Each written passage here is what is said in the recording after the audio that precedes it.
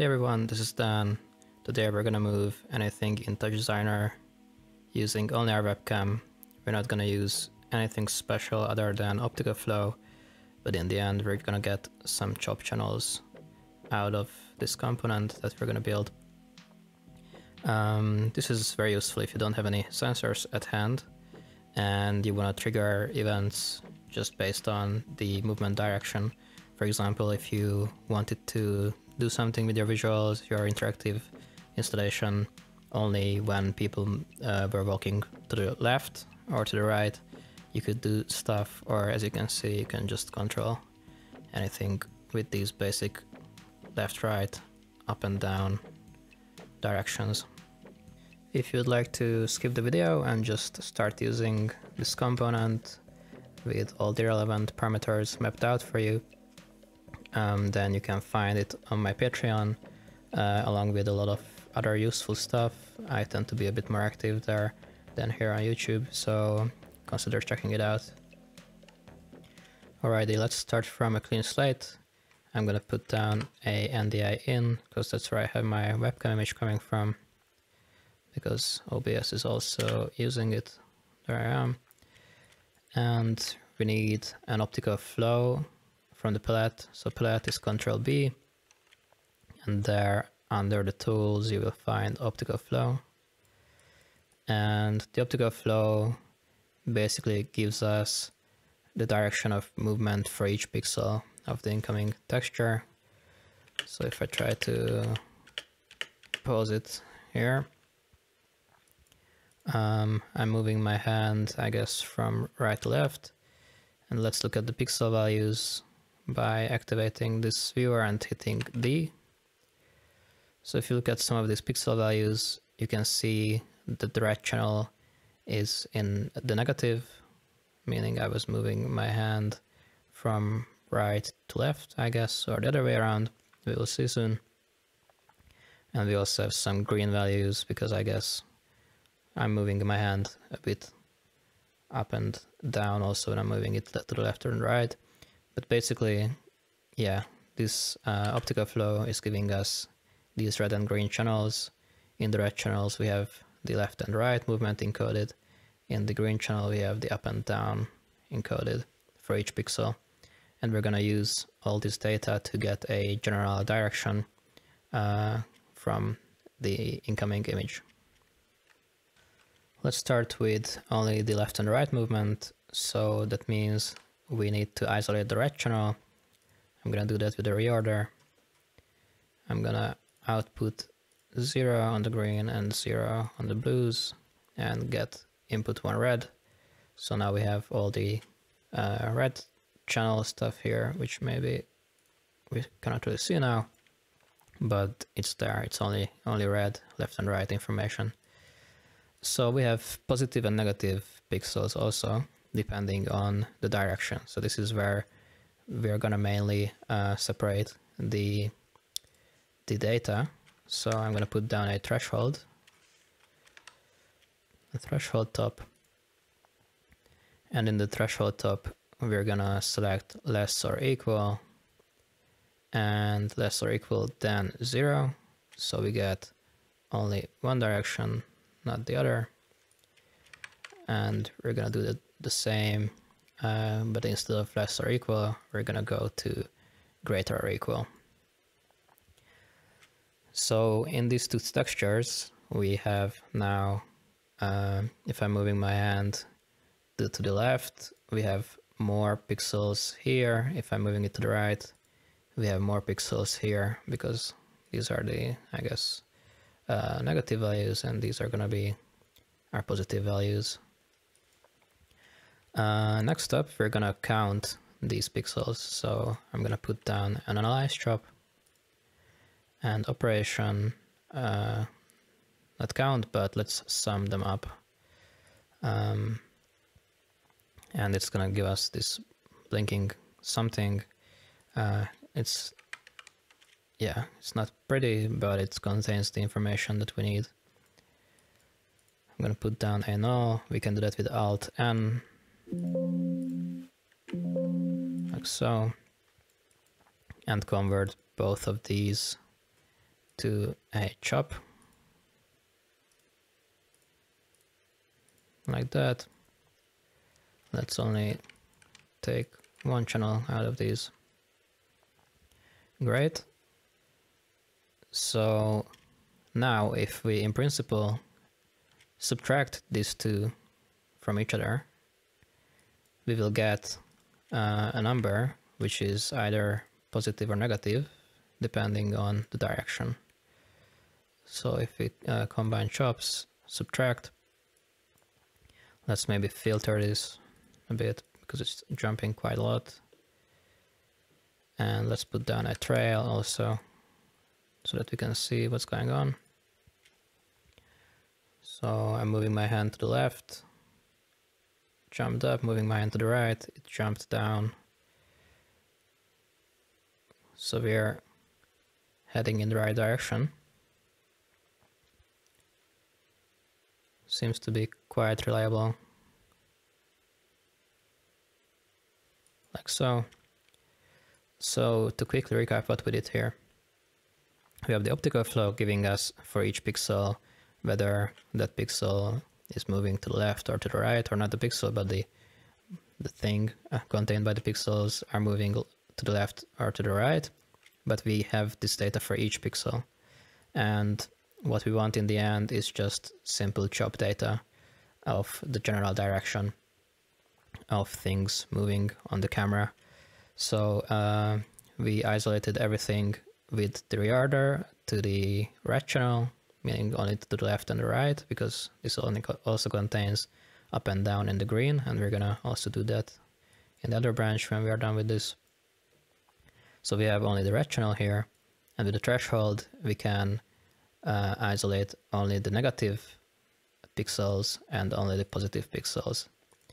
And with the analyze, we count how many positive pixels there are and how many negative pixels there are. We convert everything to chop now. And if you subtract these two numbers, um, we can get if there are more negative or more positive numbers and this number here is gonna give us how many more uh, positive or negative numbers there are in our optical flow. So this is cool, but what I want in the end is just um, one value if things are moving to the left or to the right. I don't want this kind of noisy data. I want something clean. So I'm gonna rename these channels or this channel to left right and we have to we have to draw a line uh, where we say that okay this is now just noise or yeah we have to somehow contain this data a bit better so I'm gonna put down a logic chop and convert input on uh, off when outside bounds.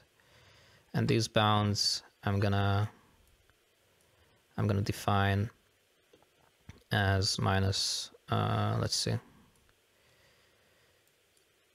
So now even though I'm not really moving it's still jumping quite a lot maybe we can put a blur before everything kind of denoise our our data I think, yeah, that already looks much less noisy.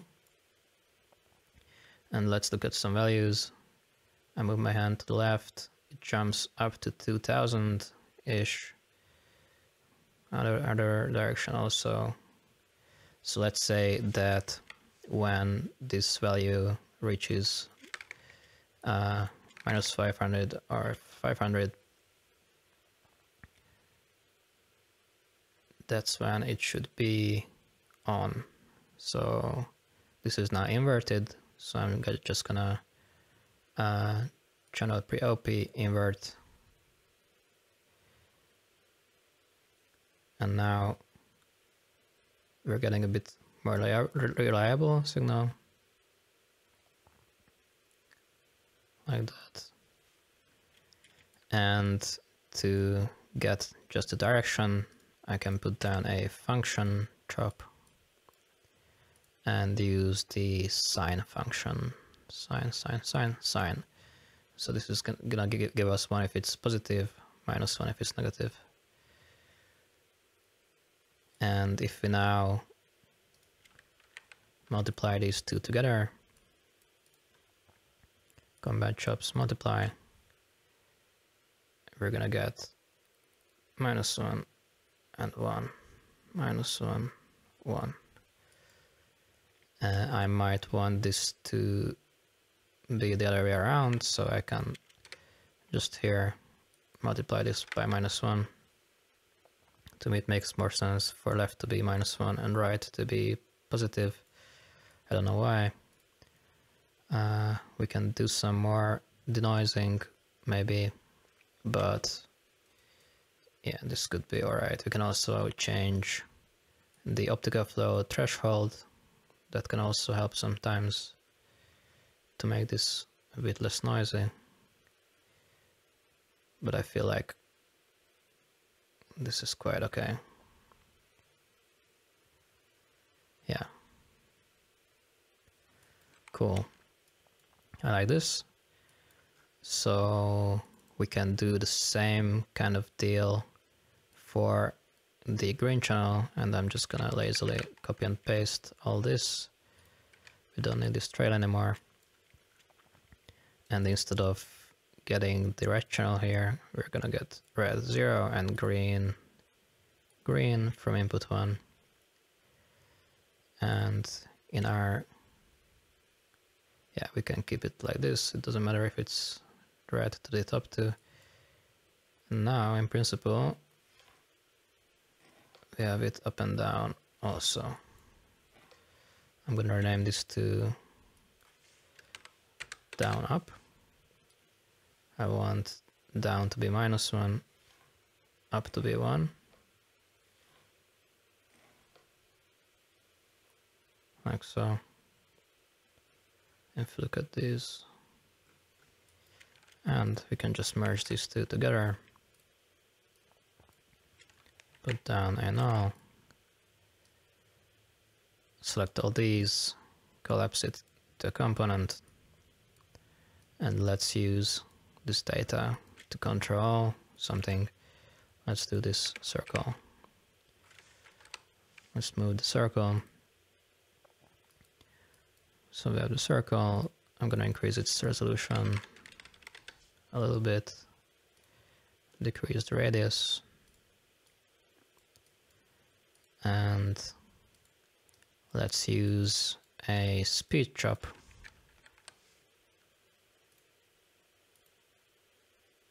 Let's limit it between minus 0.5 and 0.5. Let's look at what happens if we offset this.